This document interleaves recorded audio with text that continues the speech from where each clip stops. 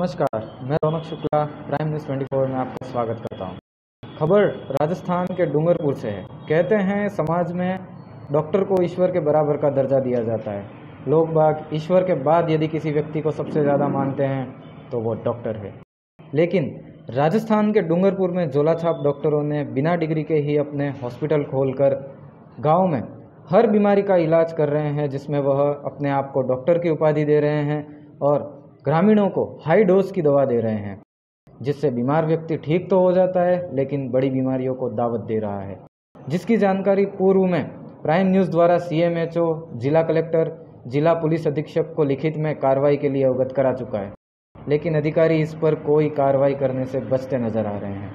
कई बार फ़ोन पर भी जानकारी दी गई, पर प्रशासन के कान पर जू तक नहीं रेंग रही है।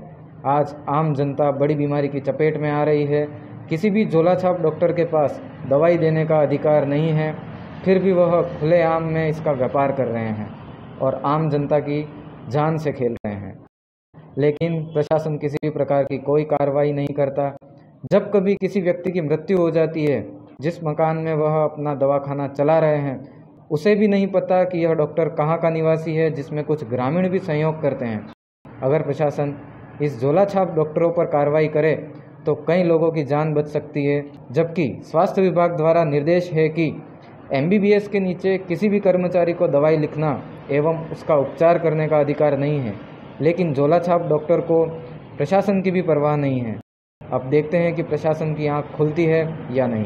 प्राइम न्यूज़ 24 के लिए डूंगरपुर से रौनक शुक्ला की खास रिपोर्ट।